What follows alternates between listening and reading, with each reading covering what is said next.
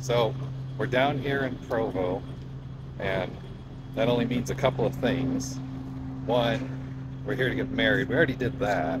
So, so, you know, two, we're going to Dillard's to shop for fancy clothes for you or something. I don't know, watches, whatever.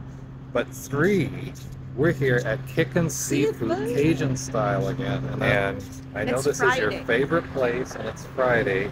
So we're gonna go in and we're gonna have Kick Kickin' Seafood. And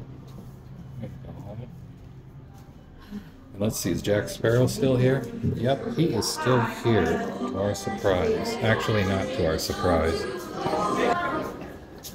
Thank you. Okay. Are we gonna buy something for the kids? Michelle can get what she wants. I'm gonna go with what I always get. Very simple. Fried fish po' boy with fries. I did not order because I don't know what it is you want. So we'll decide.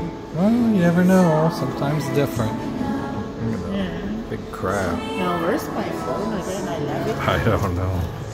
But there's all the graffiti stuff that's here. Okay, my food has arrived, and we got fries and the po' boy, and Michelle, who's now suited up in full personal protective equipment, Mm-hmm. And ready, is ready, ready ready, to fight the seafood. Has mussels, shrimp, and what else?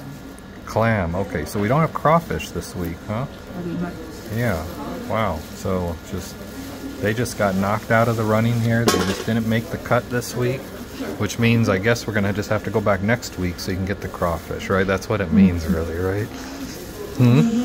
Yeah. Or or crab legs or something like that. Snow crab, whatever. And we got butter and we got lemon and we got the bucket, the barf bucket. Oh, that's the trash bucket. Okay. All done. Just some corn and potatoes, which you normally don't eat anyway. But it was good, huh? Until next week. Yeah. Until next Friday when we could go here or the buffet, one or the other.